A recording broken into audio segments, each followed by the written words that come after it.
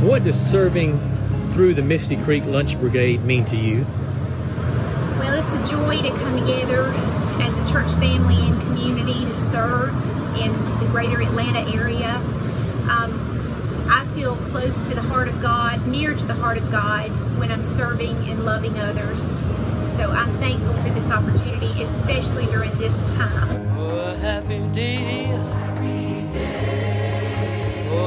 Oh, a happy day. When Jesus. Oh, This is James, this is Michael, and they're residents here of Atlanta Mission, and they really appreciate the sounds that's coming every week. It helps them throughout their day, Yes. and they want to tell you a little bit about the mission and how it helped them with your help and nourishment. Yeah, well, I guess I start first. Once again, I'm named Michael Hood. I'm originally from Atlanta, Georgia. Uh, I was born here.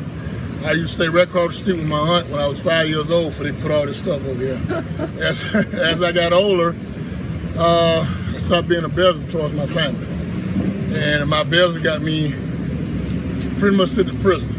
I'm in prison six times. Uh, this last time I did seven years, seven straight years. I got out July the 5th, July the 5th, 2018. I walked down the street and had $23, $22 I had the cash. I knew what I was gonna do. So I came into the mission.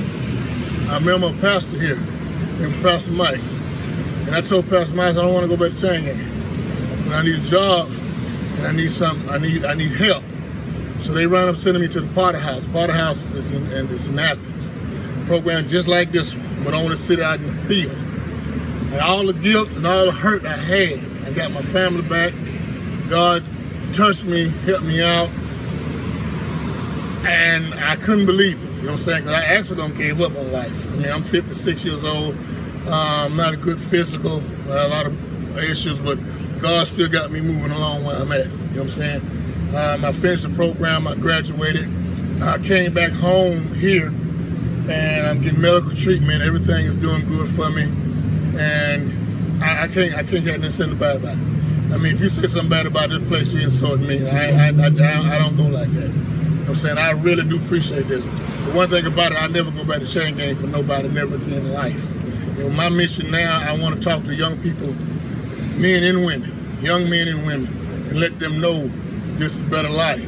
It ain't then they can tell me because I done done everything they trying to do, I done done the same thing. One thing I haven't done is put a trigger to somebody's head to blow the brains out. Mm. That's the only thing I ain't never done. By the grace of God, here I am standing. I'm saying I can't never give this life up. You know what I'm saying? I got me a room.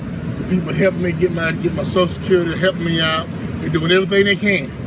I'm saying so I don't have no reason for none. This is a good, strong place. If anybody tell you anything different, it's naked. You know I'm saying? So Yeah. that's me. Praise I got God. all my family back. Thank you, man. Thank I you, just Michael. celebrated my mama's birthday. My mom passed away in 2018. Thank you. And two weeks ago, they allowed me, because we on quarantine, they allowed me to go to my mama's birthday party. The park, we lit off the balloons and everything. Oh. That was a blessing for me. They didn't have to do that.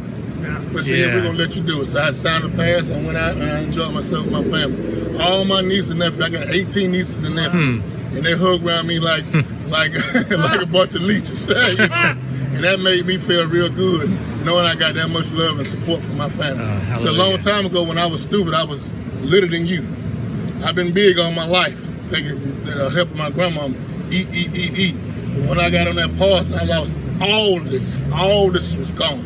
I was already dead. First thing they do is lay down across your arm because you're already dead. You was walking, you a zombie. You know what I'm saying? But oh, God said no. Uh-uh.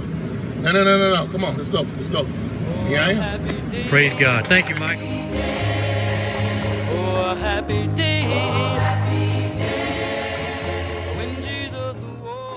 My name is James. I've been here in the mission for a little over a year.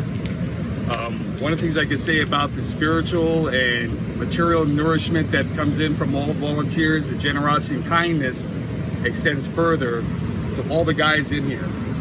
Um, it's a blessing because we realize that there's people that take time, they take their effort to really make sack lunches or whatever they can provide here.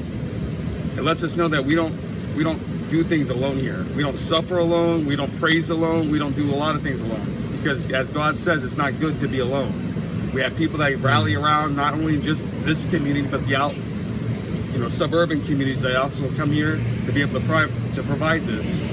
The nourishment that you guys give us in the sack lunches is something that we can pick up quickly. You know, some people that come through here have not had anything to eat. We have to wait for lunch, certain hours and everything. We're able to just hand it to them. We can consume it and we feel a lot better. And it gives us time to talk to them. Where are you in life? Where are you going? Is there anything we can do to help you? So here, it's like a brotherhood. Doesn't matter what your religion, doesn't matter anything. When you come here, you're going to be treated fairly with love, kindness, and generosity, and they talk about the other people that also help along with that. Hmm. So I've heard about you guys. I just never seen you guys being around here doing things. I'm glad to meet you guys and say thank you. Well, you're welcome, and we want to we thank you, and we know that God's got a great plan, potential for you guys. You're in the right place. Thanks be to God.